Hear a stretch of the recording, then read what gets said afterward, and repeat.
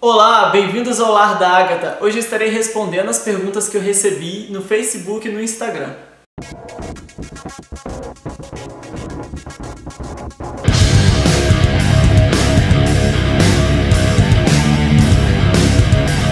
Bruno Luiz. Bruno Luiz me perguntou como seus pais reagiram quando descobriram que você era gay ou quando você contou e quando se montou. Ai, tô comendo cabelo. E quando você se montou como drag queen pela primeira vez, qual foi a reação deles? A questão de você ter que se assumir é muito cruel em um aspecto, é libertador em outro, mas é cruel porque às vezes você vem você vem tentando esconder aquilo desde sempre, porque as pessoas te, te, fazem acreditar que aquilo é ruim, que aquilo não é bom, que é uma parte péssima de você, que você deve expurgar aquilo dali. E aí você ter que se, se posicionar é muito difícil. E acho que acredito que também alguém chegar e, e te expor também é extremamente difícil, que provavelmente você não está esperando aquilo. No meu caso, eu me assumi aos 17 anos e eu me assumi quando eu percebi, quando eu decidi aceitar. Quando eu, quando eu aceitei minha sexualidade, foi quando tudo ficou mais fácil. Foi quando eu.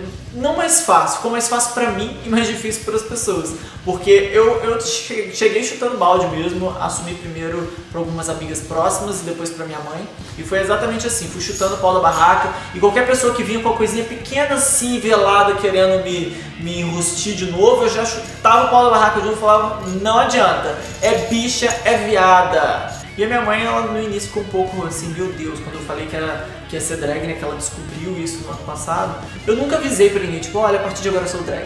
Eu fui criar meu perfil de Agatha Christie e as pessoas pensaram, por que esse perfil de Agatha Christie tá me adicionando? Aí começou uma fotinha de maquiagem, uma fotinha experimentando uma roupa, foi bem gradual, assim, as pessoas foram descobrindo. Eu simplesmente fiz o que, eu, era melhor pra mim, e aí eu, eu toco a minha vida com o que é melhor para mim. E as pessoas vão, vão tendo que ver e se acostumar porque é o que eu tenho para oferecer. E eu acho que todo mundo vive a sua própria vida e quando um LGBT decide viver a dele, aí é como se a gente tivesse que assumir, como se a gente tivesse que fazer um testão, tivesse. A gente faz testão por resistência, porque a gente vai ouvindo muita coisa, a gente vai levando muita burdoada e aí a gente faz testão, a gente briga, a gente grita, mas é porque a gente está levando, está levando muito da vida das pessoas em volta. E as pessoas às vezes acham que não estão sendo preconceituosas, elas acham que elas não estão ofendendo, mas elas vão soltando coisinhas que mesmo sem perceber vão atingindo a gente demais. E, e vão assim, sufocando a gente. Vitor Ribas, mais perguntas intensas porque eu conheço o Vitinho. Vamos lá. Quais os livros de literatura LGBT você já leu? Fale o autor também. Então, essa pergunta aqui, Vitor, não vou responder aqui no vídeo porque eu acabei de fazer outro sobre vários livros LGBTs, 20 livros LGBTs que eu tenho na minha estante, fora alguns outros que eu já mencionei no canal. Então vou deixar para esse momento aí. É, outra pergunta do Vitor é: em questão de valorização, você acha que os próprios LGBTs não valorizam a literatura que retrata sobre nós?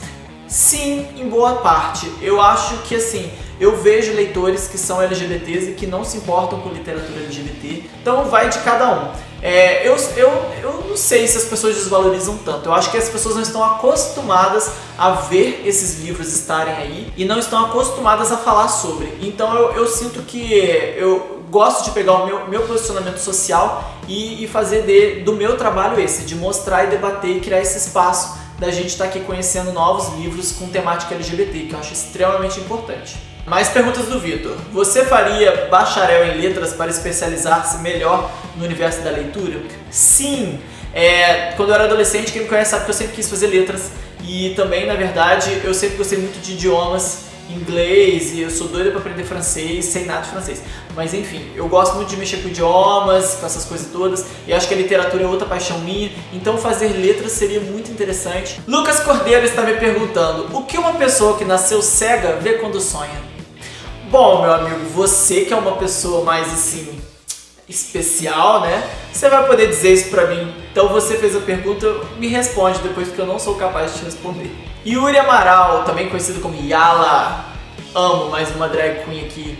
Yuri Amaral, como você entende seu local de fala? Tipo, você consegue visualizar sua posição na sociedade de forma crítica e a partir daí realizar sua performance? Em outras palavras, você faz drag porque gosta, por política ou por ambos? Beijos de luz. Beijos de luz para você também. Bom, Yuri, amei a sua pergunta. Eu acho extremamente importante que um LGBT, LGBTQI que essa pessoa se posicione. E eu acho extremamente importante que uma pessoa que seja simpatizante se posicione, porque as pessoas, eu já cheguei a ouvir de tipo, você pode ser gay, mas você não precisa ficar falando. Eu já ouvi muita coisa do tipo, mas eu não concordo com nenhuma dessas questões. Eu sempre me mantive firme, no, desde os meus 17, quando eu me assumi, eu sempre me mantive firme assim. Eu sou gay, então eu vou falar sobre. Por quê? Pra mim não, não existiam referências. Então, quando até os 17 anos eu não conhecia, eu não conhecia, eu achava que eu era o único viado do meu meio todinho. Então para mim era extremamente difícil, inclusive assim, eu não conhecia referências, as minhas referências eram todas héteros, as pessoas próximas, no colégio. Então assim, eu não conseguia enxergar, porque se tinha outro viado lá, tava tão enrustido que eu também não tava percebendo. Então assim, muito difícil. Então assim, é uma, são questões muito complicadas. Então hoje você está num posicionamento onde você pode falar a respeito e trazer inspiração para outras pessoas é muito importante. Você não precisa ser famoso para isso, você pode fazer uma diferença na rua de casa, na família e tudo mais. Eu acredito que hoje, com certeza as pessoas que vivem, convivem comigo, elas têm uma mente bem mais aberta para o LGBTQI, para drag queen no geral, para arte drag. As coisas elas vão abrindo a mente delas porque elas vão conhecendo de perto. Muito, o preconceito nada mais é do que a, uma ignorância, né? a falta de conhecimento sobre aquilo. Então, quando as pessoas vão tendo contato, vão ouvindo falar mais, elas vão tomando conhecimento, elas vão expandindo a mente delas. Então, meu posicionamento de fala eu acho extremamente importante. Eu sinto que sim, que o que eu faço é uma posição política, então é muito importante isso para mim. Letícia Figueira me perguntou como surgiu a Agatha. Olha, tem uma pituquinha perdida aqui, a Ariadne Medeiros, que diz o seguinte. Sei que você gosta muito de fazer as coisas ouvindo música. Expressivamente, isso se reflete no seu trabalho. Sendo assim, conta pra gente qual foi a última playlist que você montou e quais músicas tem. Lá você vai encontrar no meu pendrive muitas drags brasileiras. Você vai encontrar é, Pablo Vittar, mas você vai encontrar também, que eu amo muito, Lia Clark, é, Glória Groove e, ah, enfim, tem bastante coisa, lá tem Pepita também. Você vai encontrar muita Evanescence, praticamente todas as músicas que a banda tem estão lá, que eu amo demais. Peach, Christina Aguilera é uma diva pop preferida minha, dentre as, as pop, eu gosto muito de Beyoncé também. E aí você vai encontrar Guns N' Roses, você vai encontrar Aerosmith, você vai encontrar Queen, amo Queen. Hugo Francisco me perguntou, o que a Agatha mudou na sua vida pessoal, crescimento pessoal e etc. A Agatha me trouxe muito mais confiança. Acho que depois que eu parei de esconder uma parte feminina que eu queria tanto externar e não conseguia, agora que eu consegui externar isso, eu me, senti, eu me sinto mais confortável, eu me sinto mais confiante, eu me sinto muito melhor. Então a Agatha me trouxe muita confiança e mais conforto com o meu próprio corpo, com a, minha, minha vida toda, assim, no geral, porque quando um aspecto desse começa a melhorar na sua vida, acho que tudo se reflete. Bruno Rocha me perguntou: Você diz em um dos seus vídeos, os 50 fatos sobre mim, é, que ele riu demais, aliás, fico feliz de saber que você gostou você disse que é muito fã de série. Se, fosse, se você fosse produzir uma série, qual seria o estilo dela? É, quais séries ou livros ou celebridades você usaria como referência? Bom, é, uma série que eu fosse produzir, Six Under. É, já existe, né? Mas a, a referência tá toda ali. Então quem conhece essa série sabe que aquilo ali é, um, é a minha paixão de série. Ou então My Mad Fat Diary. São duas séries que, assim, o estilo de série que eu gostaria de dirigir, de participar ou qualquer coisa do tipo da criação, qualquer coisa. Aquilo ali é o tipo de série que realmente mexe comigo. O Wallace Teodoro, saudades demais do Wallace, a gente quase nunca se vê.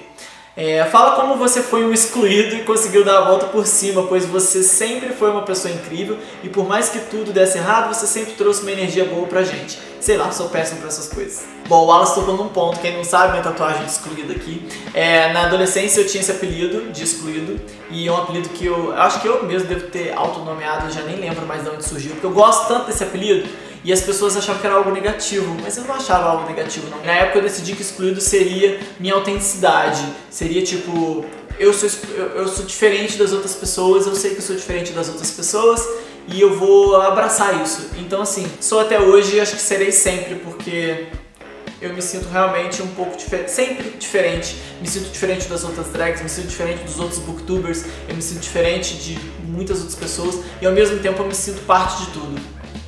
Carla Cláudia me perguntou: Oi Agatha, quantos anos você está fazendo? Qual o melhor livro que você já leu? É, eu estou fazendo 27 anos e o melhor livro que eu já li, incapaz de responder. Gosto de inúmeros. É, não consigo mesmo. É, ela também perguntou: Qual o seu personagem preferido de Game of Thrones? Uh, pergunta boa. É, eu gosto muito de Game of Thrones. Eu, no livro eu li o primeiro só e eu amava no livro Jon Snow. É, no livro era o meu personagem preferido, mas eu preciso ler a saga inteira para poder opinar sobre a versão dos livros.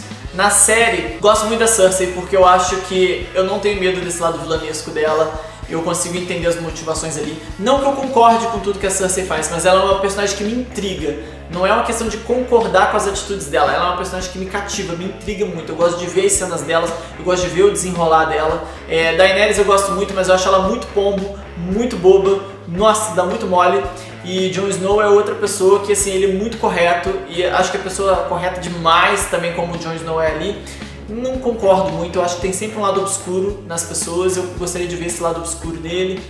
E acho que a Cersei eu escolheria. Perversa. Felipe Busson. Felipe perguntou qual sua sobremesa favorita e por que pudim. Amo demais pudim e, modéstia à parte, meu pudim é famoso entre as pessoas que me conhecem porque é bem gostosinho. Henrique Stornelli perguntou qual o ingrediente secreto do seu pudim? uh, amor. É, Bruna Gregório Noé me perguntou: Me resume essa sua transição até chegar em Agatha Christie. Você sempre pensou nisso? Foi do nada? Não, isso foi, foi muito rápido. Eu logo que chegou. Porque eu sou muito assim.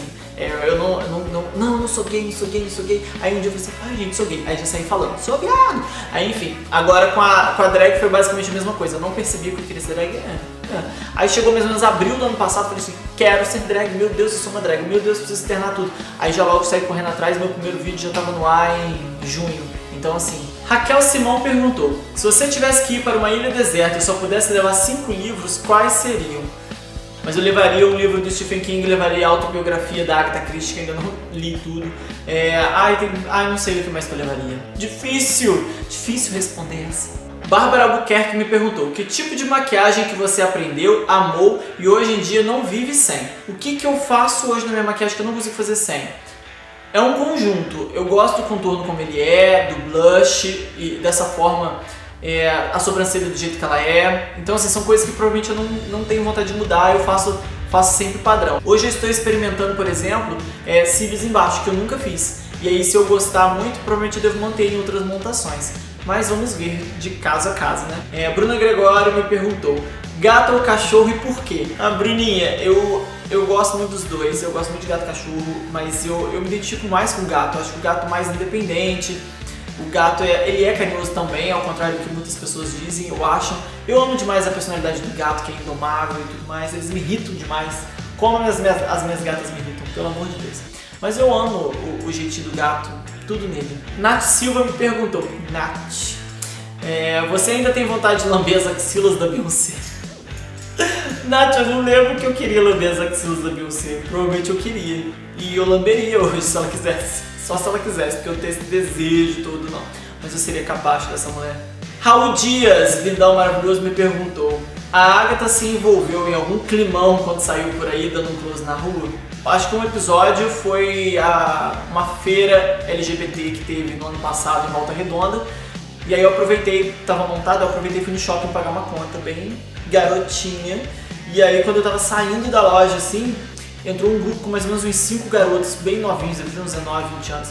E aí eu tava passando e eles falaram, tipo assim, que porra é essa? E aí, tipo, como eu já estava andando, eu seguia andando. É, eu sou uma pessoa que não bate, não bate boca na rua para essas questões com pessoas desconhecidas. Se eu ouvir alguma coisa, por pior que seja, eu vou. Vai entrar no ouvido, vai sair no outro, eu vou seguir a minha vida. Eu acho que uma forma boa de resistência é realmente você estar existindo, você estar ocupando aquele espaço, você viver a sua vida do jeito que você se sente bem, igual eu vivo, me monto quando eu quero, faço tudo que eu quero, do jeitinho que eu quero, e se alguém estiver incomodado, eu não vou bater boca com essa pessoa. É, eu acho que às vezes é muito perigoso porque a gente não sabe o que o outro é capaz e eu prefiro não me colocar nesse posicionamento. É, tem irmãos? Se sim, quantos? Eu tenho uma irmã, é, a Natália, Natália Stornelli, vocês vão ver no meu Facebook. E deixa eu ver, Raul perguntou: Polêmica. Já namorou alguém e teve que esconder a Agatha por receio, medo ou insegurança? Abriria mão de uma versão sua por um outro amor? Eu não abriria mão de forma alguma. De forma alguma. Juni Agatha é tudo uma coisa só e tudo me completa e tudo me faz feliz. E um cara para poder estar comigo, ele vai ter que simplesmente estar feliz com tudo, com o conjunto também.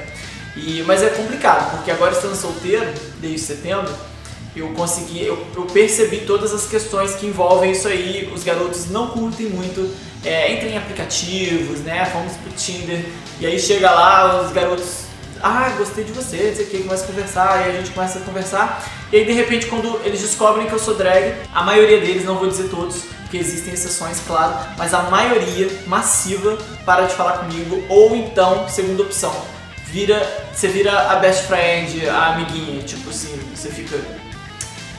Gente tava falando dos beijos na boca maneiro que podia acontecer e agora o garoto já não te vê mais dessa forma, ele passa a me ver como uma amiga. Então assim, a drag traz essa imagem, infelizmente, para muitos garotos que não são tão desconstruídos assim. Ter novos relacionamentos, eu não sei como que as outras drags convivem com isso, como que elas fazem.